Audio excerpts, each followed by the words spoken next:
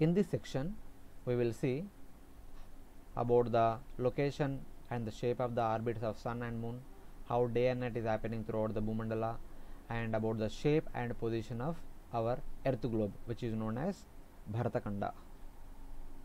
So, the Jambudvipa is described as a basket like Jambudvipa wherein there is no sunlight comes in Ilavrta Varsha. Since Ilavrta Varsha is surrounded by four gigantic mountains and four directions, whose height is about 10,000 yojanas, that there is no light comes in this particular area. Since Lord Shiva personally residing here, you can brighten this entire land. There is no problem. And Bhumandala is the Jambudvipa is vast land containing nine varshas and keeping golden Meru at its center. Its width is around 1 lakh yojanas in diameter in all directions and this particular Jambudvipa has been divided into 9 varshas by the presence of 9 mountains along with Mount Meru. This is the entire top view of Jambudvipa. In the middle is Mount Meru. Surrounding Mount Meru there are 4 wonderful mountains.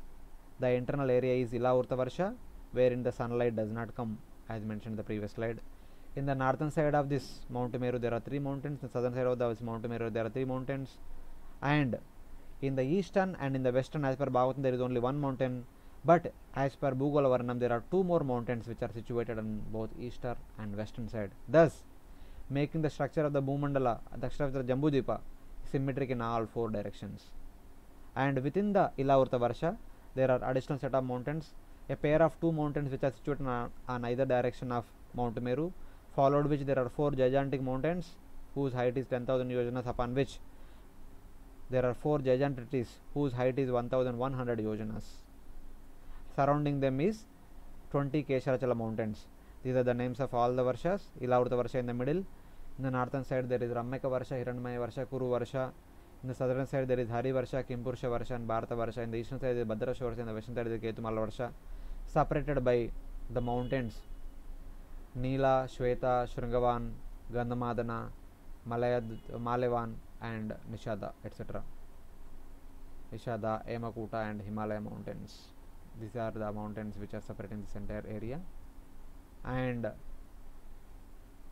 in the eastern side, within Bhadrashva Varsha, whose width is around 20, uh, 31,000 yojanas, there are two more mountains which are known as Jatara and Devakuta. When we cross check with the, the details mentioned in Bhagavatam, this Jatara and Devakuta are the names of these two mountains, and these two mountains, whose names, with who, with the with what names, the same names, another two mountains are situated in this Bhadrashva Varsha. Thus, dividing this entire Bhadrashva Varsha into three parts, each part with a distance of 9000 yojana. This is 9000 yojana, this is 2000, this is 9000, this is 2000, this is another 9000. 9 plus 2 plus 9 plus 2 plus 9 becomes total 31,000 yojanas, which is the total width of Bhadrashva Varsha. Similarly, on the western side within Ketumala Varsha, there are two more mountains whose names are Pavana and Pariyatra, who are also the same as the two mountains which are on the western side of Mount Meru, and thus making the entire area symmetric in all four directions, and also fulfilling the word of Srimad Bhagavatam, which says that all the varshas which are divided divided by different set of mountains are 9000 yojanas in width. So till now the six varshas on the north and south and ilavrta varsha in the middle are satisfying that statement. Now both ketumala and bhadrashva are also satisfying the statement of 9000 yojanas in width. And then the two two mountains which are on the northern and southern side of mount meru also have duplicates in the Uttara Kuru Varsha and on Greater Himalayas. In Uttara Kuru Varsha there are two mountains known as Makara and Trishringa on either side. In Greater Himalayas there are Kailash and Karavira on either side. This is the Kailash mountain where Lord Shiva resides along with his wife Mother Parvati, along with their children Skanda, Ganesh, along with their associates the Bhuta, Preta, headed by Nandi, they are all reside in this Kailash. This is the mountain where Lord Shiva resides along with his family members. And herein, this is the Kailash where Lord Shiva resides along with his wife Bhavani, who are served by only female residents, whoever enters this area they become female but herein there is no such restriction this is the image of bhagavatam wherein all the varshas are shown as a straight line but in bhugola varnanam all the varshas are shown in a curved form. This is the small difference between bhagavatam to bhugola varnanam. This shows the symmetry in all four directions. This is wonderful nature of the supreme lord's creation. Here in it shows the symmetry in both the direction the top to bottom or right to left. Then it further describes the jambudipa which is basket like in shape is circular in its shape uh, in its nature. It has an altitude of 1 lakh yojanas that is the height of jambu mount meru within jambudipa the sun is situated in an orbit which is located at a distance of 93 million miles away from our globe that is the Bhartakanda which is situated within Bharatavarsha. The moon is situated within its own orbit which is situated around 0.25 million miles away from our globe. Their orbits are almost in line with our equator with almost in line with the equator of earth globe. And Rahu is situated 10,000 yojanas below the orbit of sun and his orbit is situated within the orbit of moon. This is very close to the earth globe. This kind of arrangement with the terra structure of the Bhumandala and the location of the orbits of sun and moon can help us explain and understand the phenomena known as Uttarayana, Dakshinayana, Vishodayana. Uttarayana corresponds to the sun's travel in the upward direction above the line of equator of earth globe.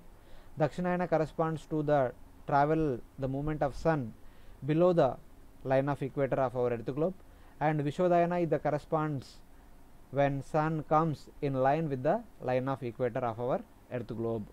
For all these things to explain, the entire Bhumandala should be in terrace shape, it cannot be flat. So, this is what it is mentioned in the previous slide. Herein we have all the details. The orbit of the sun is situated here, the orbit of the moon is situated, they are almost located in the in line with the line of equator of our earth globe.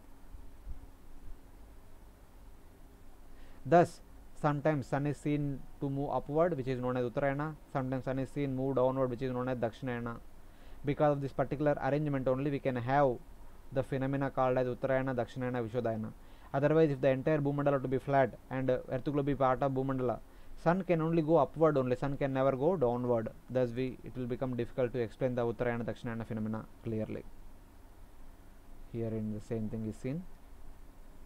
Then, if the entire Bhumandala to be flat like a rupee coin, when sun is traveling above that Bhumandala, then because of the presence of the radiance of the sun, the entire Bhumandala will have the daytime simultaneously. Then there is no possibility of having night time on one side of the Bhumandala and other side of Bhumandala being the daytime. That is not possible. But when it comes to the Bhumandala being terrace type of structure, when sun is situated on one side of the Bhumandala, other side of the Bhumandala will be dark by default. When sun is situated on the other side where it was dark previously, now it becomes bright, and where it was bright previously, now that becomes dark. So this phenomena can be explained very nicely when the Bhumandala is in terrace type of structure, not in flat like a rupee coin. So then within Jambudipa, which is divided into nine varshas, there is the ninth varsha is Bharata Varsha. That Bharata Varsha is further divided into nine islands, as it is shown in this picture. The nine tracts of land are separated by ocean, but they, as per Bhagavatam and as per Bhugola Varnam, the nine divisions are divided from northern to southern direction. The bottommost part is the ninth division, which is called as Bharatakanda. And this Bharatakanda is described in Bhugola Varnam as it is a particular structure situated as at the southern edge of the Jambudvipa, which is perked at the southern edge of Jambudvipa. The dictionary meaning of the perked is to stick up or to jut out. So it is not a planet going round the sun as the modern science says, but it is part of the bigger Jambudvipa, which is part of the circular earth, which is part of the entire Bhumandala.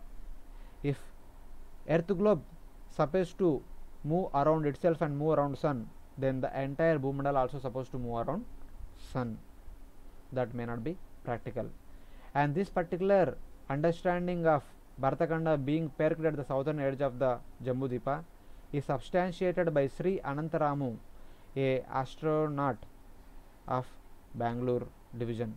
He joined the crew of the first Indian Antarctic expedition.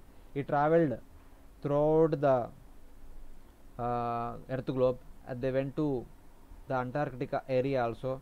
There he says, based on his observations, the South Pole region projects downwards like a cone. This region has not been properly surveyed by the modern science till now. Therefore, it is indeed a flat lie to say that the southern pole region is slightly flat like the north pole region. To say that the both north pole and south pole are similar to each other is actually flat lie according to him. He says the south pole region is actually extends downward like a cone. So, as per the statements given by this particular personality, the Madhva scholars present the situation of the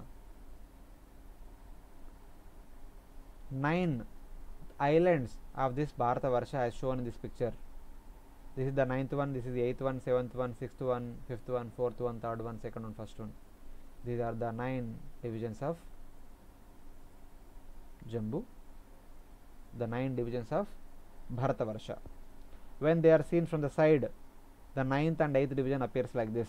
This is the saltwater ocean below, and this is earth globe, which is stood on a conical structure, which is there in the southern direction of the earth globe. And herein they also show some dotted lines indicating that the space expedition, whatever is done by modern science, it is generally in this area. It generally goes in the horizontal side, horizontal side here and here. Sometimes maybe on the northern pole side, but not in the southern pole side, not much into the southern pole. For example, here we can see in the world map.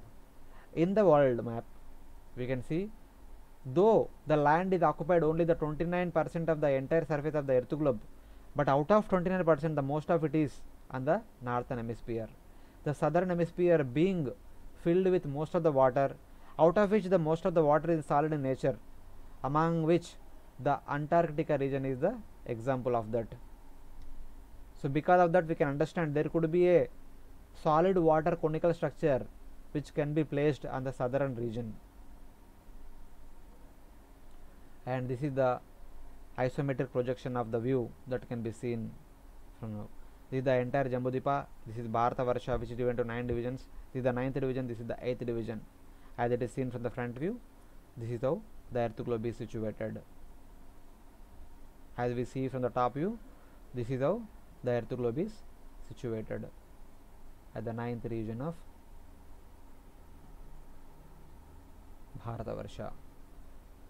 So, thus we can understand that this Earth globe is connected to the Bharata Varsha through a conical structure which is made up of solid water.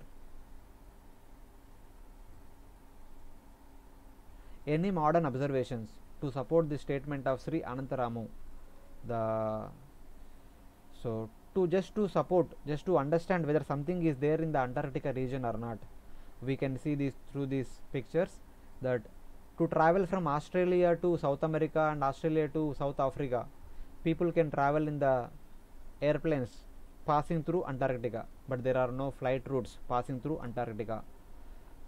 If at all somebody want to travel from South Africa to South America, they have to travel through Middle East, making Middle East as via medium. So here we can see they go like this. They don't go exactly like this. Here we can see another set of flight routes, but none of them are passing through Antarctica. Here and we can see many flight routes which are going from South Africa to South America to Australia, but none of them are going through Antarctica. Here and we can see a brief summary of the development of science. From 1960 to 1990, these are the set of flight routes which are there mostly on the North Pole region. Then in 2000, there are many more which are passing through North Pole. But even till 2010, there are no flight routes which are passing through South Pole region. They are just touching, barely touching the South Pole region.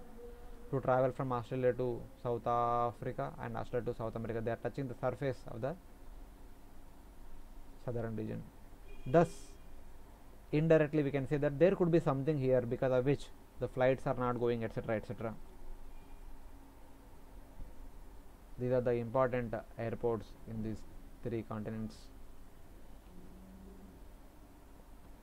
even the flight routes which are going through the region of antarctica for visiting or performing scientific research they are all situated on the boundary of this antarctica region. These are different uh, uh, uh, research centers of nasa which they established all over this area. They are situated only on the boundary. Even in 2011 they have conducted a balloon experiment wherein on uh,